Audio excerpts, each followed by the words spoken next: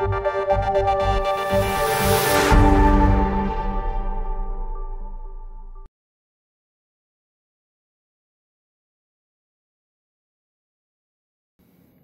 in series of Docplexus KOL interviews, we have with us Dr. Sushil Jindal, who is an experienced endocrinologist and diabetologist from Bhopal. He is currently working as a professor of medicine with PCMS in Bhopal. He has also been successfully looking after the Jindal Diabetes and Hormone Center. He is a physician to the government of Madhya Pradesh.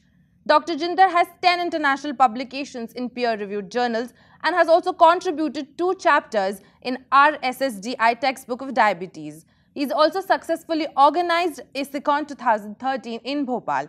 Thank you, sir, for the interview. So let's begin with the first question. Uh, hydroxychloroquine is a newer medication for diabetes. Can you please elaborate on the same? Okay. Uh, there's a drug called hydroxychloroquine. Uh, it's a derivative of chloroquine, which, uh, as you know, is uh, very commonly used as an anti-malarial drug. Uh, recently, Drug Controller of India has approved this as a oral anti-diabetic drug. If you see the history, we know that uh, chloroquine can produce hypoglycemia in some patients. And we also know that quinolones, the, the very commonly used antibiotics, uh, they can also produce hypoglycemia. Actually, the gatifloxacin was taken out of the market because of this problem because it produced severe hypoglycemia. Mm.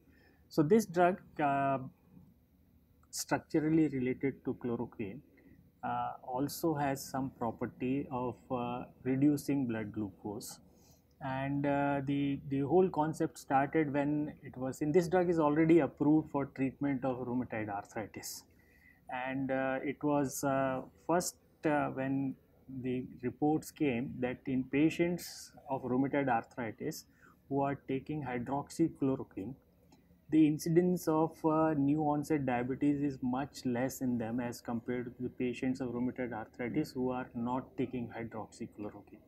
So this actually triggered some investigations that whether this drug has some anti-diabetic properties. Now we have some more information on this mm. drug. Now we know that uh, this drug actually decreases the degradation of insulin. So whatever insulin is produced keeps acting for a longer time in the body. Secondly, it also increases uh, uh, a, a, hormone known as adiponectin. Now, this hormone promotes the action of insulin and also reduces the atherosclerosis, which is responsible for heart attack and strokes. So, this is the second mechanism of action. And third, it also reduces some inflammatory cytokines. Now, these are, uh, as you know, uh, C-reactive protein, interleukins, and TNF-alpha, tumor necrosis factor alpha. Now, it is supposed that uh, diabetes, obesity, insulin resistance, and atherosclerosis, they all have a low-grade inflammation in the body. So, this inflammatory process probably is addressed by this anti-inflammatory action of this drug, hydroxychloroquine. Now, we have many studies suggesting that uh, if you use hydroxychloroquine in patients suffering from type 2 hmm. diabetes, mm. It reduces the blood glucose level, it reduces the HbA1c, and there are few studies suggesting that if you use this drug, the chances of having cardiovascular disease are also statistically reduced. Now, lot more research is needed this drug is still not approved by FDA for use in type 2 diabetes. As an indication, it is not approved. It is okay. only approved for uh, lupus and rheumatoid arthritis by US FDA. But uh, the Drug Control of India has granted permission this drug to be used as anti-diabetic drug in India. Uh, but uh, with the caveat that it should be third line drug. That you okay. first use metformin, hmm. sulfonylurea, and if patients are uncontrolled, then you can add as a third line drug and uh, we have used it uh, we have some experience i have some experience okay. And there are patients in whom we have seen good response to this drug only problem is this takes uh, some months to come in full action so okay. don't expect uh, uh, drug to reduce glucose in matter of weeks it takes some two three months to come in full action okay so the recovery is um, how can you compare it with the other line of drugs?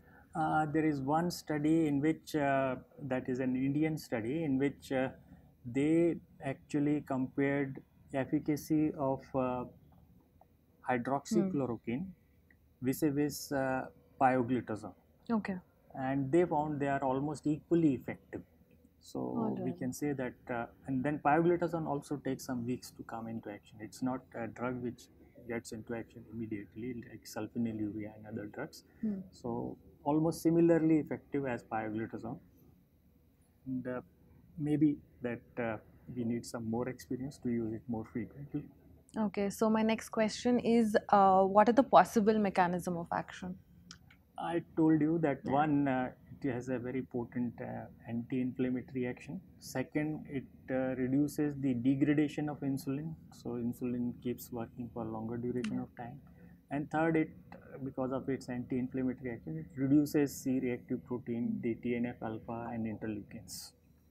Okay, thank you so much, Doctor, for the interview. It was pleasure having you here. Thank you. Thank you very much. Thank you.